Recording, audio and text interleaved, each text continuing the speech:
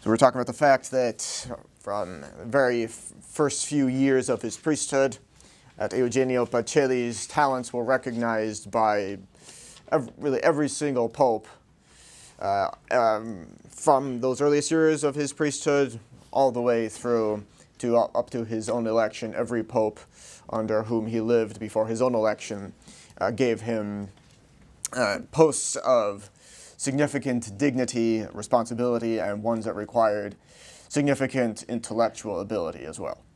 So his talents, uh, which were quite a few, were recognized uh, early on and employed in various different capacities, which included, as we mentioned last time, extraordinary intelligence, linguistic skills. We'll see that he was fluent in half a dozen languages. uh, and um, there's even footage of him speaking uh, English, addressing, addressing uh, Allied troops in, in Rome in English during the Second World War. So, linguistic skills, perseverance, and loyalty, and all of these popes sought his advice and service in international affairs.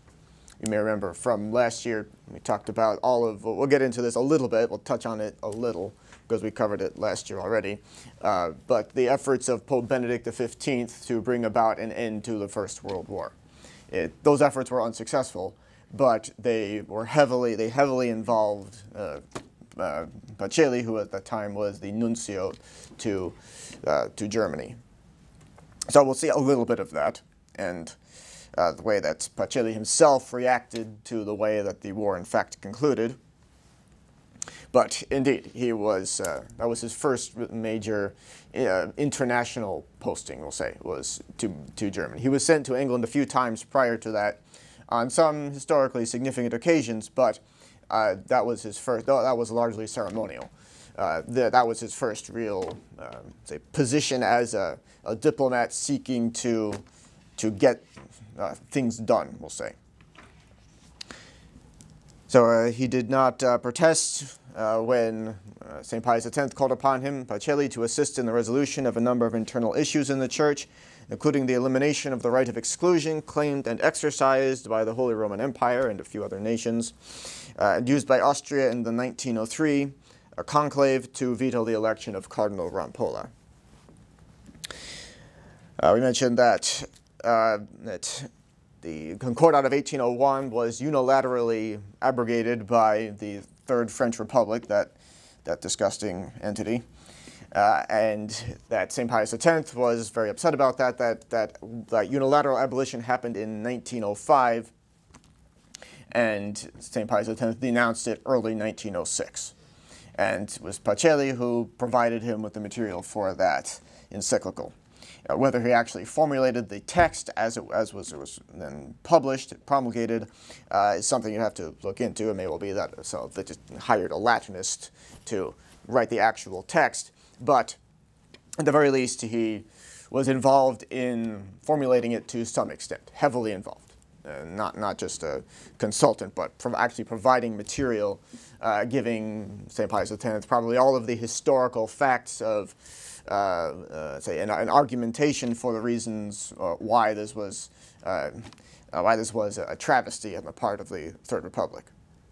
The encyclical proclaims that the same rule applies to the Concordat as to all international treaties, namely the law of nations, which prescribes that it cannot in any way be annulled by only one of the contending parties.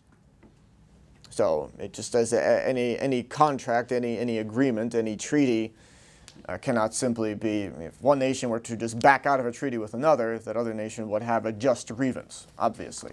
And he's saying here that the Holy See has no less just a grievance with France for just throwing out this Concordat, which has stood for 100 years and more. That, remember, that was even set up by Napoleon. Napoleon was the, he was not yet the emperor of France. He was the first consul he had uh, sometime earlier dumped his army in Egypt, just left it there, and gone back to France to become the first consul, uh, and had himself in 18, uh, well, a, few, a few years later, they had himself crowned emperor by, uh, or uh, the stories differ as to whether he seized the crown to put on his own head or had Pius VII crown him, but at the very least he, he dragged Pius VII to Paris, practically, in order to have him crown him Napoleon emperor. Uh, and uh, but that was a few years later. In 1801, he was ruling as Napoleon was ruling as first consul, and as bad as he was, as much trouble as he Napoleon gave the church, he set up this concordat, which allowed certain things for the church, made certain guarantees, and uh, which he which remained in place. Napoleon III, Freemason, Carbonarist, revolutionary Napoleon III kept that in place. It was only the French Third Republic uh, which trampled on it eventually in 1905. And uh, we talked a lot about the history of the, the French Third Republic last year. Remember, it started out okay, at least, under uh, Maréchal Mac-Mahon was the first uh, you could argue that there was a president prior to him of that Third Republic, but uh, he was the first president of that republic after it was determined clearly that okay, we can't, we are not going to be able to reestablish a Catholic monarchy here. Uh, there's too much disagreement as to who should be the king, so we need to, we have no choice but to go to Republican form of government. He was, uh, Mac-Mahon, Patrice Mac-Mahon, was uh, a devout Catholic, so it was okay when he was in, but then he, he resigned at a certain point, and after that, everything just went downhill. So that's that is the situation we're looking at. All that persecution of the church, the law of separation of church and state in 1905 that uh, actually was that, that was the abolition of the Concordat, that law included it. Uh, that was that's all the con continuation of everything we saw last year done by the uh, the French Third Republic. That's part of it. So during the pontificate of St. Pius X, Pacelli seconded and quietly supported the papal actions taken against modernism. So you remember all of that, we saw last year, even to the point of shutting down, at least for a time, the seminary of Perugia, that uh, all those measures that St. Pius X took against modernism, which were, the modernists complained endlessly about, just endlessly, uh, all of that Pacelli in fact supported. So there were some who thought, oh, this is all too harsh, we should be nicer. Uh, there were some who were saying that. Uh, Pacelli did not say that. Uh, clearly, he himself, as we'll see later on, of the, the modernists who, uh, was there was a definite resurgence of modernism uh, after St. Pius X. They, they, were shut down, exposed and shut down during the reign of St. Pius X. Cer certainly, uh, everything that well, I'm going to say everything that could be done was done. Uh, in retrospect, we could have used even more, but it was definitely, uh, modernism was definitely uh, prosecuted with the, to, sense, to the full extent of the law. Uh, you might be, I'd say at least, uh, at least uh, in a broad sense, that was, the measures against it taken were quite strict, as was necessary that. Pius X saw was uh, to be necessary, and those in agreement with him uh, also saw as necessary, including, it turns out, Eugenio Pacelli, who would not maintain the same kind of strictness against the modernists during his own reign as Pope. And that's really what set up uh, everybody, uh, quite, quite the opposite, in fact. Everybody who brought about Vatican II, all the, all the big names uh, of the council, were all set up during his reign. So, but this goes to show that it was due to perhaps a weakness of character, um, you know, a, a, natural inclination to be non-confrontational, a natural inclination to be diplomatic, and in fact, a long training and career in diplomacy that led Pius XII to, as Pope, to pursue a course of conciliation with, with the modernists of his time. And uh, that clearly didn't work. But remember, he canonized St. Pius X, under who, say, with whom he closely cooperated and with whose measures he agreed, to the point of, of canonizing him later. Decades later, half a century later approximately, but canonizing him, in fact. Uh, so really, and, and thereby uh, canonizing, of course, St. Pius X himself, but that means also giving a blessing to everything he did against modernism. Remember that the canonization of a saint not only includes the infallible declaration that that soul is enjoying the beatific vision, but also holds him up to the church as a model for imitation, uh, imitating which others may uh, attain to sanctity. So in other words, the message being given there is that if you're tough on the synthesis of all heresies, you could become a saint by doing that. And that was uh, that modernists hated the fact that St. Pius X was canonized, including Roncalli himself, who after his own election, uh, in an interview said of St. Pius X, he's no saint. And he's supposed to be the Pope himself at that point. And uh, his, uh, his predecessor having canonized St. Pius X says, oh, he's no saint. And the interviewer came back with, it was not we who canonized him. Why are you saying that? Why are you saying that to me? I didn't canonize him. And then he said, he tried, he backtracked, Roncalli backtracked. He, he, he, he reeled that back in a little bit, but he still made, he still said something disparaging. Oh, even saints can go a little too far sometimes. And when we see Roncalli and everything, uh, we'll see his early career later on. We have, we'll have to study him, go back into his early history as well uh, as someone who came up during the reign of Pius XII. We'll see how he was treated during the reign of St. Pius X and how he complained about St. Pius X and those who were carrying out the will of St. Pius X. Uh, so we'll see all of that. And uh, one thing you notice when we go through all of this is that whenever you, you see modernists talking about St. Pius X, they're always complaining about him. But they didn't complain about any of these other popes. They didn't complain about Leo XIII, they didn't complain about Benedict XV, Pius XI, and certainly not Pius XII but they complain about St. Pius X. Even to the point of Roncalli himself, after his own election, still complaining about St. Pius X. they actually could not stand him. Because he was actually, I mean, that meant that he was actually effective against them, whereas the other popes in, in practice were not so effective. In practice.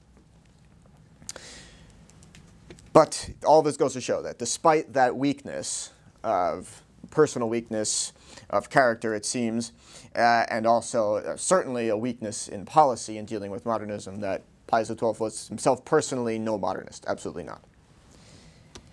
He not only supported the penalties and actions imposed upon the adherents of modernism, but also sought to reinforce and expand the arsenal of measures that might be employed against the synthesis of all heresies.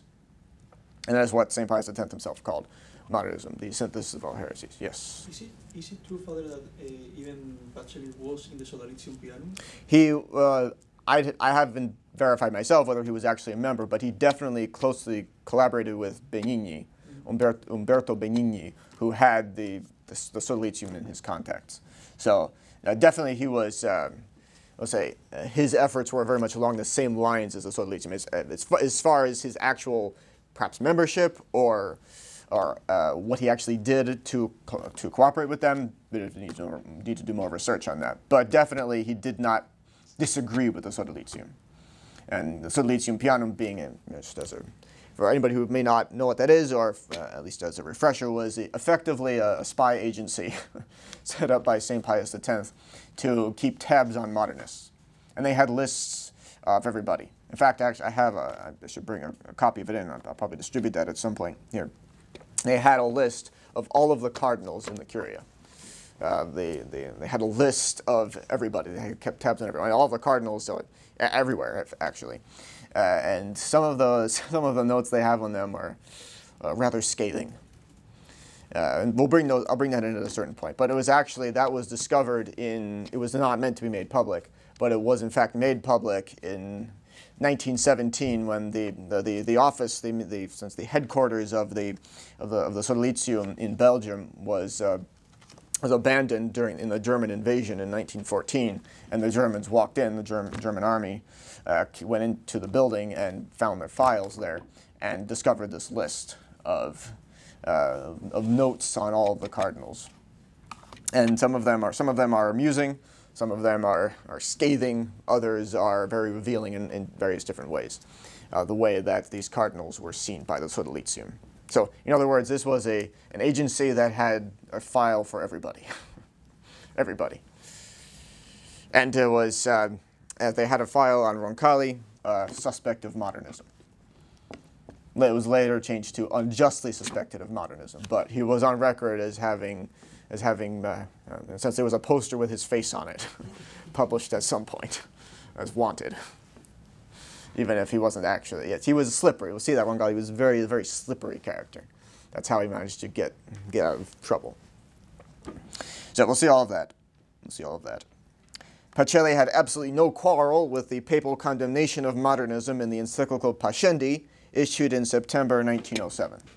So that's uh, Pascendi is uh, a reading of that is indispensable for understanding modernism.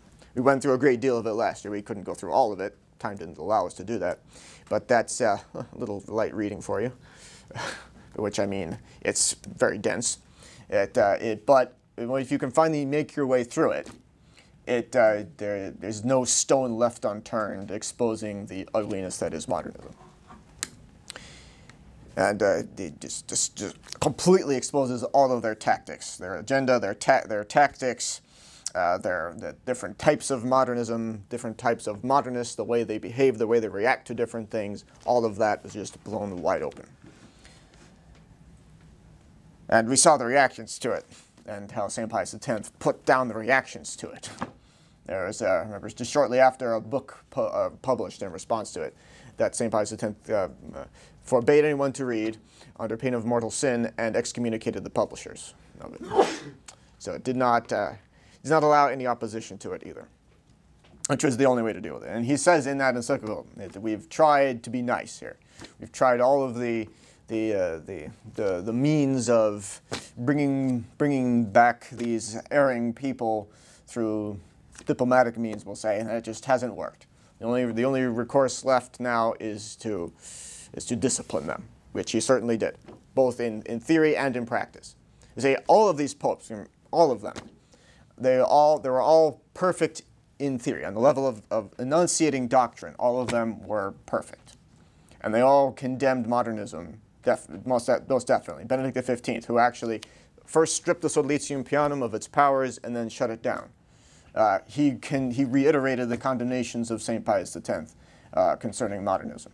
So they were all in agreement that this is bad, and that the, the, the, modernism is the synthesis of all heresies. There was absolutely no question on that. There were it, was, it was as though one person speaking when it came to that. But when it came to dealing with it in practice, definitely not. That all the others were much too soft. Uh, we can see in retrospect that they were. That, that's what allowed Vatican II to happen ultimately. And that's what we're doing here to a great extent is detailing that. So from 1906 to 1911, Pacelli collaborated with Umberto Benigni in combating modernism. Pacelli shared Benigni's determination to preserve orthodoxy, and in so doing was clearly in the anti-modernist camp, but he did not broadcast the fact. So here again, uh, clearly, uh, his, uh, he is uh, clearly uh, subject, so submissive to the church, absolutely, and entirely committed to the faith and to preserving it, but in a diplomatic way. Pacelli. That's how he, see that, that's how he does everything.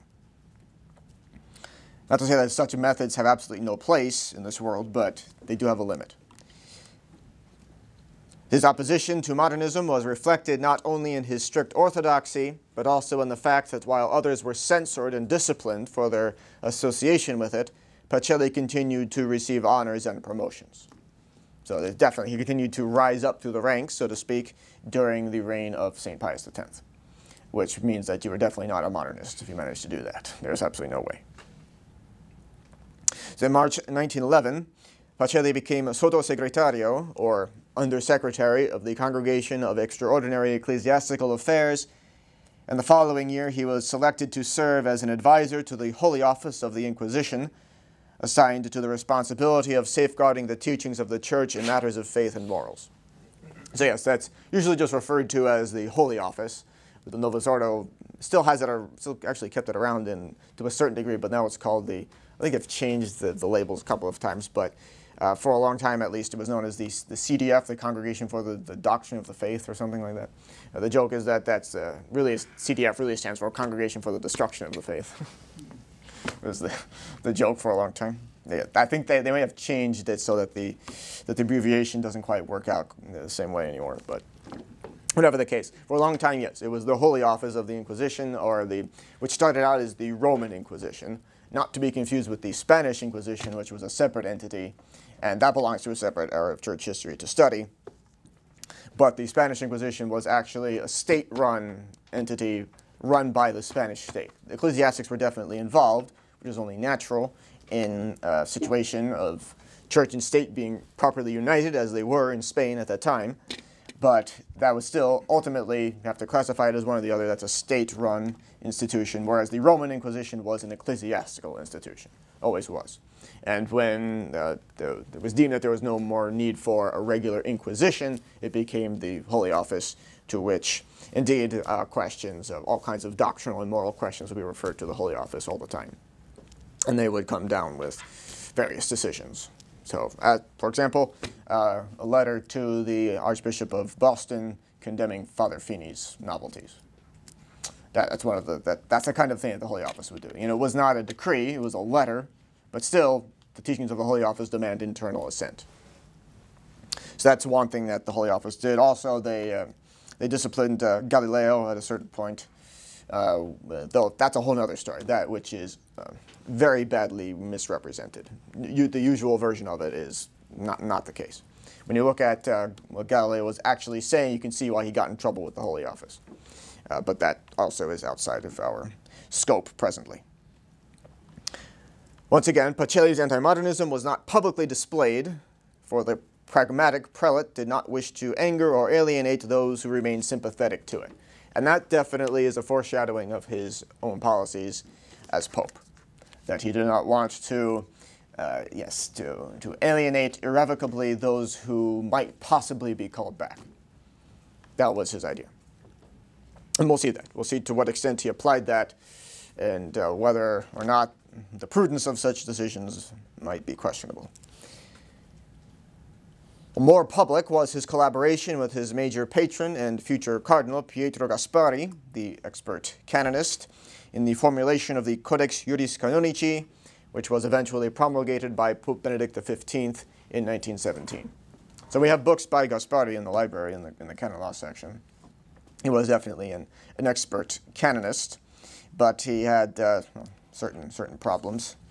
Um, Pacelli took part in this effort at the behest of St. Pius X. Remember, that was the project of St. Pius X. One of the many things that he set in motion was the codification of canon law. Remember, prior to the Code of Canon Law in 1917, it's not as though there were no laws in the church. It meant that the laws were very, very greatly scattered. In fact, there was a collection called the Corpus Juris Canonici, the body of canon law, which was a collection collection of all kinds of different decrees all put together. And they were code, they had numbers, there were canons, numbers of canons prior to the code in 1917. But the code greatly abbreviated everything, uh, condensed it very much. So it's, it's much, much shorter than what was once uh, in place. And uh, it changed certain things. A great many things were purposely left unchanged, but there certain things were altered. And this was all, it took over a decade. We'll see that from about 1904 so to 1917 when it was actually promulgated, that was a work in progress. Finished in time for what became Pacelli's next mission, which was to nuncio to Germany. But this was just one thing that St. Pius X undertook. Remember, he did various other things. He, for one thing, he also reformed the sacred liturgy. Uh, he, the, the St. Pius X missal and breviary that we use was, well, it was already, uh, to a great extent, things were the same before Leo XIII, but St. Pius X did change various different things. For example, it used to be that every single, uh, every single day was, uh, say, what the office and mass of the day was, was simply determined by the, uh, the rank of the day. So if you had a double, uh, Saint's feast that was a double that fell on a regular semi-double Sunday, it wasn't that, whatever, 15th Sunday after Pentecost, but it was instead that saint's feast day. So if you look at in ordo, say, I, saw an order from 1870 or 1871, there was one Sunday that was uh, the feast of St. Francis Xavier, I think it was. So instead of, which is a, a higher, which is, I think is a double major, but it's, it's higher than uh, semi-double, definitely. So that means that there were many more proper last gospels previously. Never you had it. Now, nowadays, those are those are considered simplified, as they reduced to as though they were simple, so they, they're commemorated at both first and second vespers. But in other words, Sundays were just regular Sundays anyway were were elevated significantly during the reign of, of Saint Pius X. Also, another change, uh, one of one of the things that Saint Pius X changed was uh, that um, psalms other than Psalm 118 were broken up. If you look at the, uh, the, the breakup of Psalm 118, it's actually in 11 different parts. Uh, uh, we start. We sing the first two on, on Sundays, the second and third psalms of Prime on Sundays and feast days are the first two parts of Psalm 118. But Psalm 118 is actually recited in the office throughout terce, sext, and none. So it's uh, it's divided up into 11 different sections and considered to be, in that sense, uh, rubrically 11 different psalms, uh, spread out through the day. So potentially you're reciting it from 6 a.m. to 3 p.m. Uh, and, and beyond, reciting Psalm 118. That's how long it takes to get through it. Uh, but prior to St. Pius X, that was the only psalm that was broken up. So now you find many different psalms broken up throughout the office. Prior to St. Pius X, that was the only one. So now we're in, in cases in which you have uh, one psalm broken up into different sections, and that qualifies as two or three. Uh, perhaps different psalms in one hour. previously, you had that one psalm was just one psalm for that hour, and then you had other psalms, other full psalms in addition. So prior to St. Pius X, the office took significantly longer. So this might, um, so all this will mean much more to you once you start reciting the office every single day. But you see uh, the extent of the things which, which St. Pius X did. That's a part of it. Okay, so that's one of the projects, uh, the, the, codification of canon law, uh, which St. Pius X decreed should be done. Pacelli was heavily involved in the effort of codifying it. A born negotiator and diplomat, Pacelli apparently believed that all problems could be solved by compromise and conciliation clearly which he carried into his papacy. His ability, discretion, fluency in more than half a dozen languages, his negotiating skills, his determination, self-confidence, and above all his loyalty to the church were all widely recognized and highly valued in the, in the Curia. So remember in that collection of congregations and other entities in Rome, which are heavily involved in the day-to-day -day administration of the church, uh, he was recognized widely within that, let's say that, that body, that whole, that collective body of all of those entities, as uh, a man of significant talent, even great talent, and uh, therefore rose rapidly. It was clear that his temperament, training, interests, and loyalty combined to secure his position in the Secretariat of State. Undoubtedly, his career was also promoted by his family connections, so he advanced not only because of what he knew, which was considerable, but also because of whom he knew. So uh, there is definitely, uh, uh, yeah, as in any uh, organization, in this case, an organization with a human element, uh, you're, if you have a well-connected family uh, with, with a refined background, you're more likely to rise to higher positions. But at the same time, actually, when, when you consider it, uh, the, the church has, it might, has to be understood correctly, because otherwise it might sound bad, but a very definitely democratic element to it. Uh, the, the, church is very strongly monarchical. Let's not make any mistake here. Uh, the church is very strongly monarchical, but it has a democratic element to it in as much as potentially anybody could rise up through the ranks. Remember, St. Pius X was a farm boy. Uh, St. Pius V, similarly, in fact, he was uh, you may know the story that he was, uh, uh, he was on a farm with his parents, and St. Pius V, that is.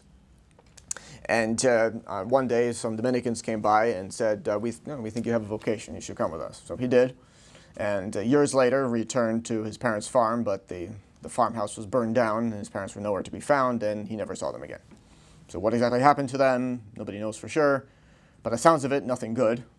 But it's impossible to say for certain what happened to them, whether they were killed when some, some war came to the area or um, bandits came through or whether they, uh, they maybe have survived and went someplace else and had no way of telling him. It's just impossible to say. But he was brought up on a farm and um, his parents are, and what even ultimately happened to them, how they died is in fact unknown. But that was you know, St. Pius V, also a farm boy. And even, uh, say, one of, I believe it was Pope Sixtus, uh, well, the, the, the, first Pope Sixtus, I believe it was, who was uh, a slave who was a shepherd and rose up through the ranks to become one of the first popes. Uh, so there is definitely, in that sense, a democratic element in the church. Potentially, anybody could rise up through the ranks even to become pope. Uh, but in the case of Pius XII, he rose up through the ranks very quickly and very early because, in, in part, because of his family connections, which is natural in any any organization with a with, with a human element. Uh, that is natural that that should happen. Uh, but in this case, it was not without reason either. It was not not nepotism. He, he, he had genuine talent. There's no question of that. His success commenced with the help of Cardinal Vincenzo Vannutelli, who was friendly with his family, with the intervention of Pietro Gasparri, who presided over the Congregation of Extraordinary Ecclesiastical Affairs and had long been indebted to the Pacellis for legal and financial considerations, and also with the support of Leo XIII's Secretary of State, Cardinal Mariano Rampolla, who was very, very liberal, and uh, who had a certain Giacomo della Chiesa as his protege. Anybody remember who that was? Hopefully. Yes. Yes. Pope Benedict XV. Uh, he was known for that, being very much in the school of Rampolla.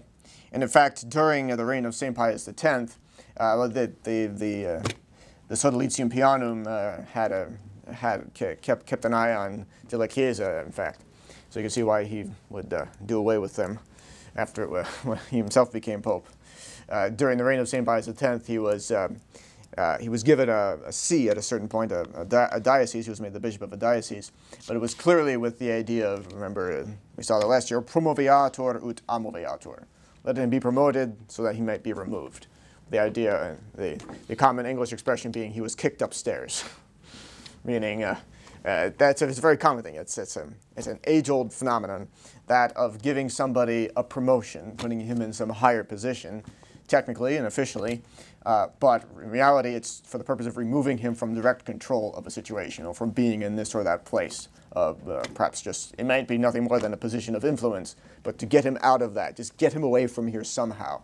Uh, it doesn't it, promote him, that's fine, just get him away from here. It's also a way of doing it uh, diplomatically in the sense that the person is uh, removed from that situation, but he's not disgraced. He's been promoted and, and honored technically.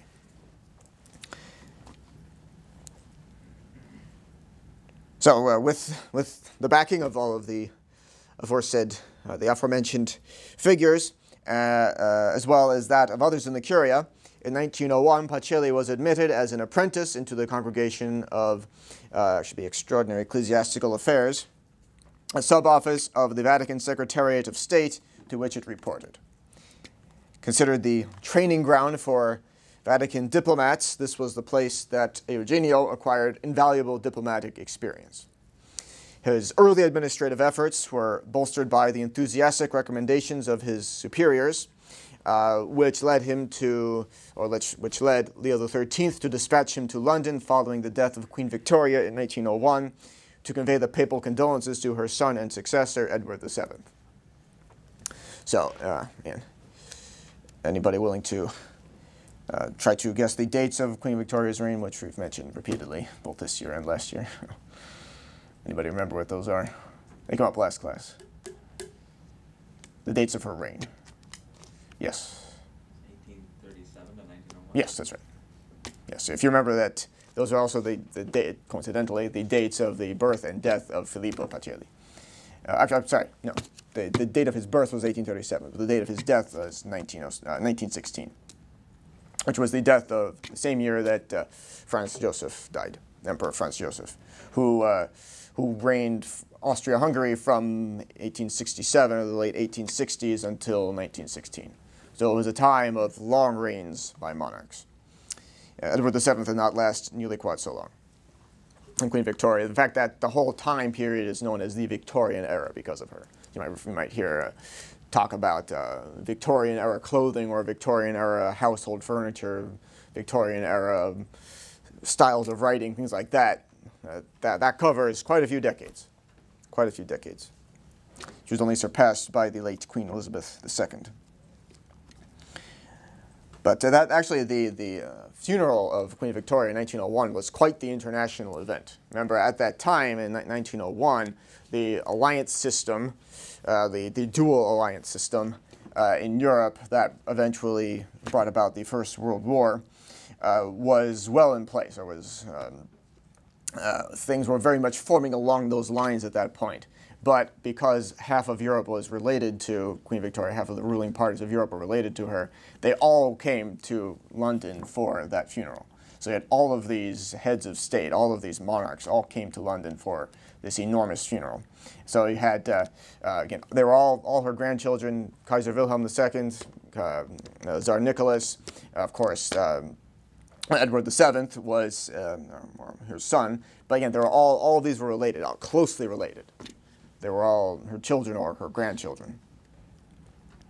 And it's actually uh, partly because of that that uh, there were problems that arose. Uh, for example, the famously the hemophilia of, uh, of uh, Prince Alexei, uh, the son of, of Tsar Nicholas II.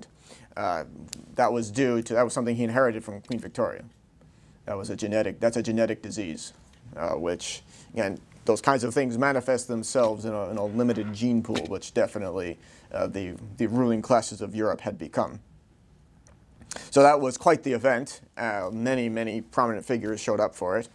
And uh, among them uh, was uh, Monsignor uh, Pacelli, sent to convey the papal condolences to King Edward VII. So, St. Pius X, uh, that was, of course, in the last couple of years, 1901, Uh, was towards the end of Leo XIII's 25-year reign. He died just two years later, 1903. St. Pius X, who succeeded to the papal throne in 1903, and his Secretary of State, Rafael Merry del Val, likewise appreciated the potential of Pacelli in the promotion of Vatican interests and called upon him to perform various tasks and frequently sought his opinion. Over the years, Pacelli collaborated with a string of secretaries of state and clerics of differing persuasions, including Rampolla, Merry del Val, and above all, Gasparri. So you may remember last year we talked about this, that, uh, that you know, Della Chiesa was very much Rampolla's protege to, to the max, as they say, and uh, that Merry del Val had tried to prevent Della Chiesa's elevation to the cardinalate.